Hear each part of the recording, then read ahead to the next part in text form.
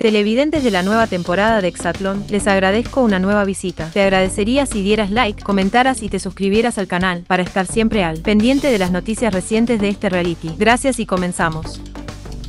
Exatlón al estar, Liliana es una novia tóxica, así respondieron los azules. El romance entre Liliana y Andrés marcha viento en popa en el Exatlón al estar, sin embargo, los azules creerían que Hernández es una novia tóxica. No todo es competencia y rivalidad en el Exatlón al estar, ya que el amor también se ha hecho presente en la competencia más colosal de la historia gracias al noviazgo entre Andrés Fierro y Liliana Hernández. Mujeres en duelo por la medalla femenil de Exatlón al estar. La relación entre los flamantes campeones de la última temporada del Exatlón México marcha viento en popa a pesar de las dificultades a las que se han tenido que enfrentar, pues la presión y exigencia de reality deportivo no han sido impedimento para que se demuestren su amor. ¿Cuál es el mayor reto que Liliana y Andrés han tenido que enfrentar? Aunque han logrado conformar una gran relación, Andrés Fierro y Liliana Hernández tienen un gran reto y nos referimos a tener que convivir las 24 horas dentro de un ambiente de competencia y rivalidad. Nació todo este enamoramiento, este cariño con Andrés, gracias a su presencia que tuvo conmigo durante la sexta temporada en momentos de muchísima crisis existencial. Esta relación que estamos construyendo que, si bien no es fácil convivir 24 horas, durante los 7 días de la semana,